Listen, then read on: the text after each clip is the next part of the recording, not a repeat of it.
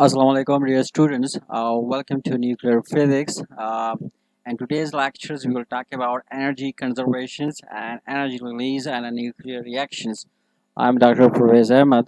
Uh, so let's move towards today's topic. So first uh, we will try to discuss about uh, energy conservations and nuclear reactions.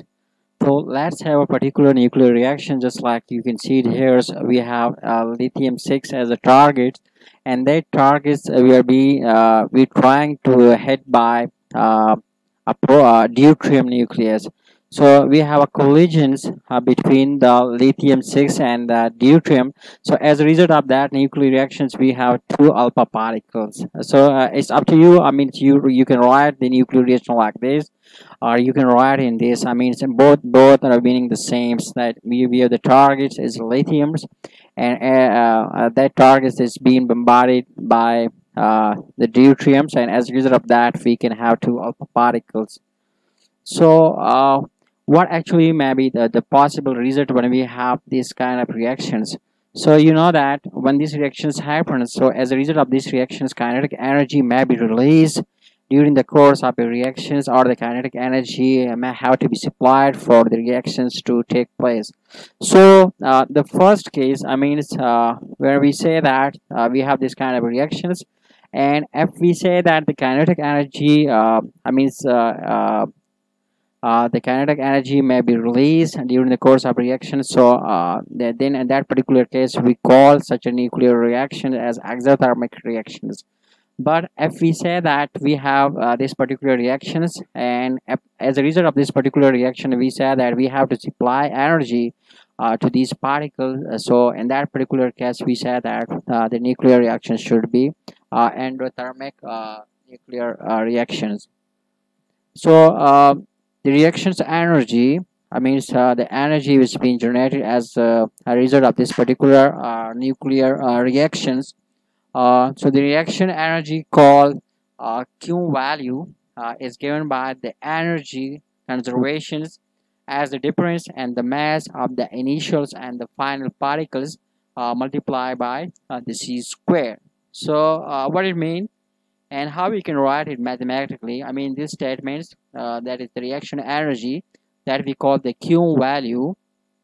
we can write it like this. I mean we given its definitions we saying that it's uh, equal to uh, the difference of the masses of the reactants and the product and multiply the whole multiply by the c square. Um, so uh, what we have in term of this q value? So just like we mentioned on the previous slide uh, if the q value is positive uh, I mean so you do all the process you put the values uh, you uh, put the values and you find the difference and then you multiply the whole with the c square. So if you find that the, the value of the q is positive so it would mean that the reaction is uh, exothermic. I mean so we can have uh, some sort of heat as a result of that particular reactions but if you find that you do all the calculations and as a result of that calculation you find out that you have a negative value for the q so in that particular case uh, it means that the reaction is endothermic it means that we have to supply some energy in order for the reaction to happen.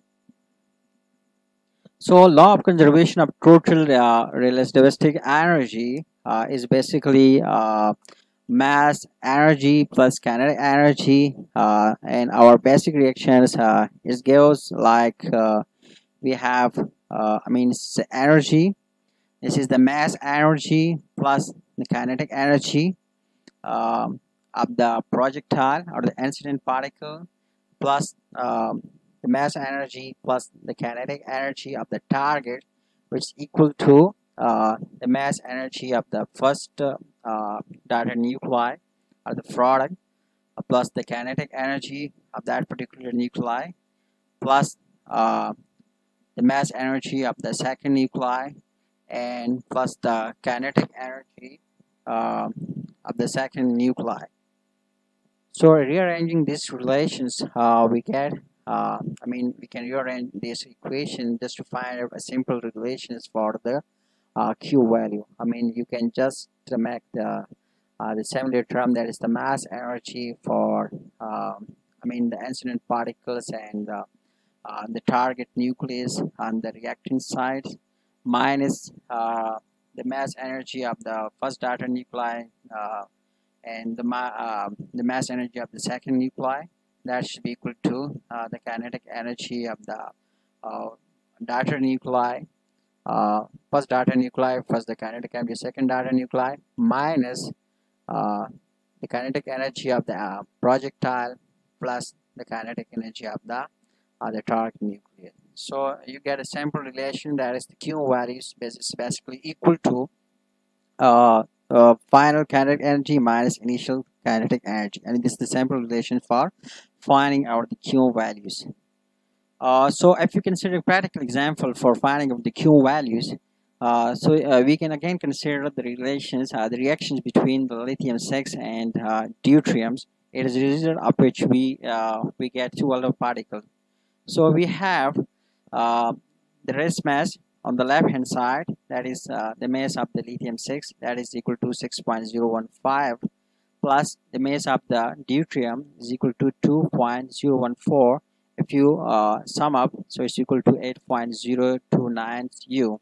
Similarly uh, we have total rest mass on the right side. That is we have 12 particle. You multiply that with the 2 uh, so you get it equal to 8.0052 uh, units.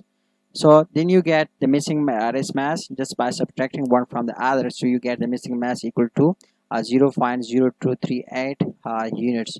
So what you do to find out the energy release uh, the energy release as a uh, uh, as a, uh, this particular reactions.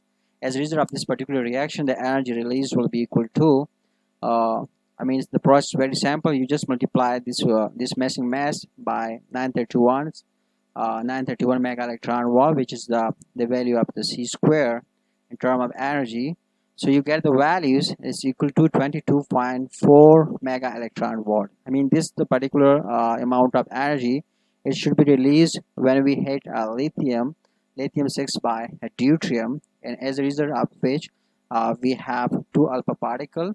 So along with those two alpha particle we will have this much of the energy.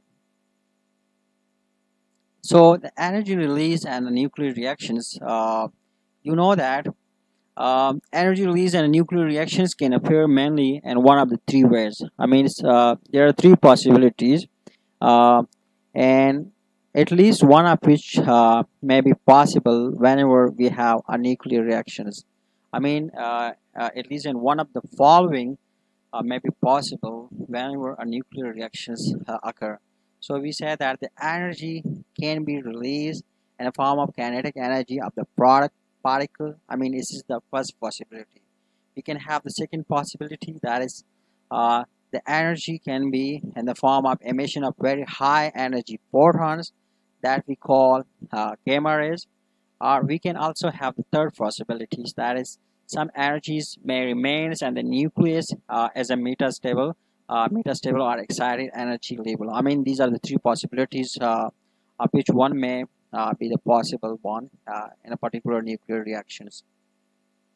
So, uh, in writing down the reaction equations, uh, one may in addition give the reaction energy on the right side is that is target nucleus plus projectile that's equal to product nucleus plus the ejectiles plus Q values. So again, if we consider the, the, the previous reactions that it's lithium 6, uh, we it by the deuterium and as a result of that we have two of alpha particles. So if you write these equations, uh, you know that for this equation we have the energy uh, that the Q value equal to 22.4 mega electrons volt. So hence we may represent uh, the reaction as, I mean we can write this reaction like this that is uh, lithium 6 plus deuterium that gives uh, alpha particle plus alpha particle second alpha particle. And along with that 22.4 uh, mega electron volt energy. Uh, so uh, now by, by, by knowing about uh, energy conservations and energy release during nuclear reactions you might be able to deal with some problems. I mean you, you might be now experts to calculate q values of the following nuclear reactions I mean, now you're experts. You know about the Q values. You know about how the energy release and nuclear the nuclear reactions.